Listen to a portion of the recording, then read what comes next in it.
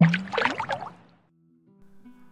Bienvenidos mis queridos muchachos, ya el primer miércoles de diciembre, nuestro mes donde vamos a elegir el, mejor televisor del año, el peor televisor del año, la mayor decepción, etcétera. Pero antes de comenzar con esos rankings que lo vamos a empezar ya oficialmente la próxima semana, aunque algo vamos a adelantar en este podcast del día jueves en calibraciones, donde vamos a hablar un poquito acerca de lo mejor y lo peor del año.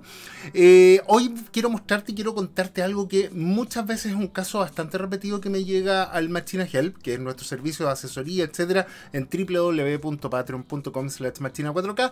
Quiero que te fijas con la imagen de fondo. Voy a colocar una película, acabo de instalar mi receiver, acabo de instalar mi reproductor 4K o acabo de instalar mi Apple TV 4K, conecto al televisor, me dispongo a ver la película y va a pasar esto, fíjate.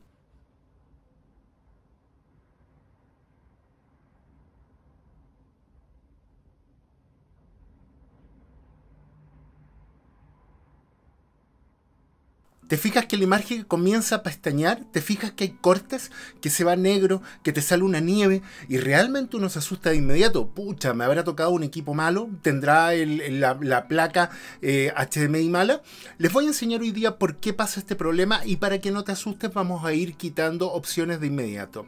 Primero que nada, si tú conectaste a tu, eh, a tu sistema, a tu setup, conectaste un receiver, un receiver con eh, entradas HDMI, donde tú conectaste tu Apple TV, tu reproductor, tu Fire TV, tu Nvidia Shield, lo que sea, y de ahí sacaste el ARC a tu televisor e inmediatamente comienza a exhibir ese problema, mi primer consejo es que te vayas a las opciones del receiver y te fijes que tengas en modo HDMI en Enhanced o avanzado. Yo ocupo receiver Denon donde está puesto como mejorado, pero tiene que decir mejorado. Eso abre la señal para que sea capaz de pasar el 4K HDR y Dolby Vision a 60 cuadros por segundo.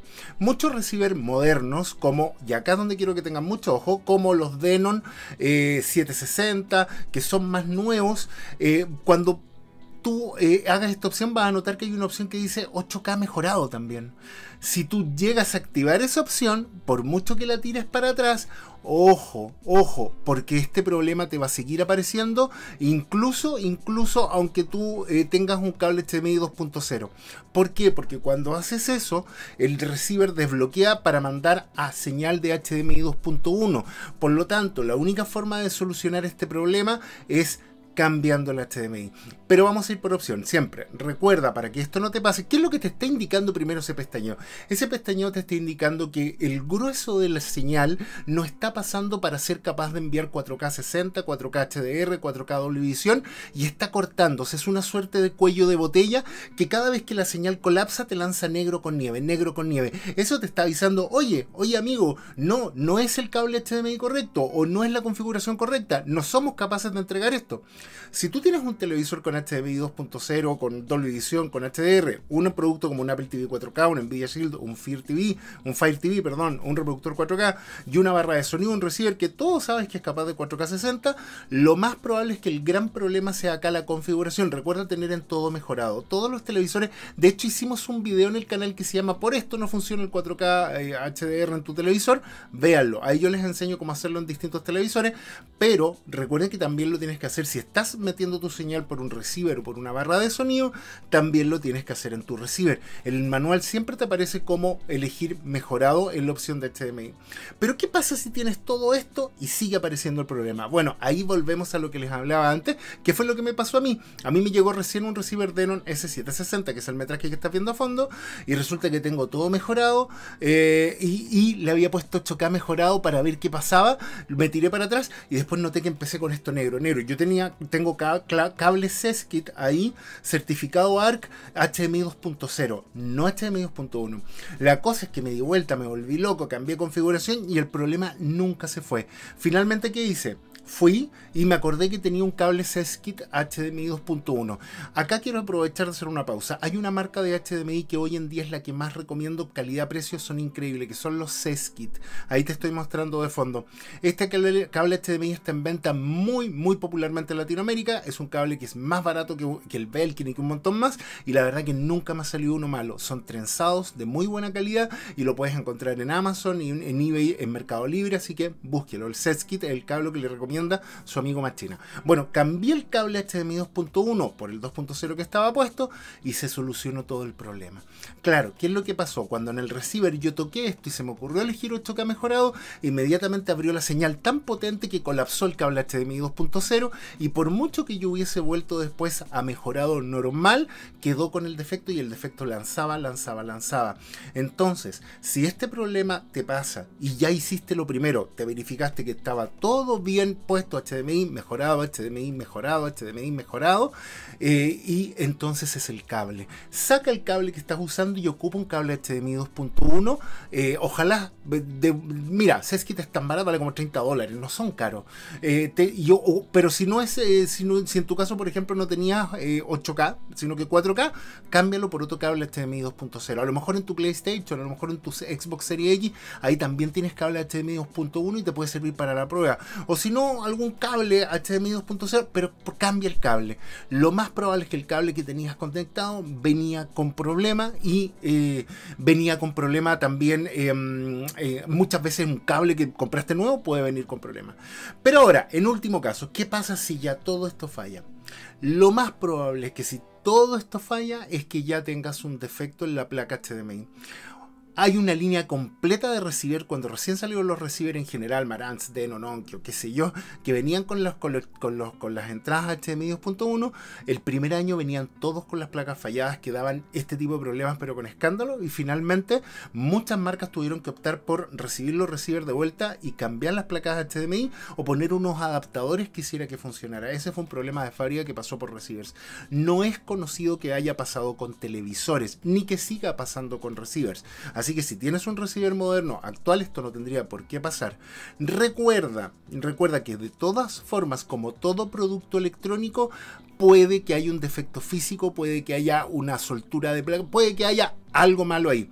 Siempre, primera opción, contacta de inmediato al servicio técnico de la marca. Contacta primero a la marca. Si estás con garantía, pide inmediato que te cambien el producto. Si pasó la garantía, no creas que tienes que optar por servicios técnicos de tercera, cuarta, quintas personas siempre comunícate primero con la marca, manifiesta tu problema, manifiesta que eres cliente, que compraste tu producto de forma oficial y que te gustaría que eh, solicitar una visita técnica. Marcas como Samsung, como el G, etcétera, cuentan con técnicos que van a verte y ahí te dicen, mire, esto, este es el problema, el arreglo sale tanto. Si esto tiene garantía, tú dices, no, no tengo garantía, bueno, el arreglo sale tanto. Las marcas cuentan generalmente con los repuestos oficiales y es la mejor forma de atender este tipo de producto.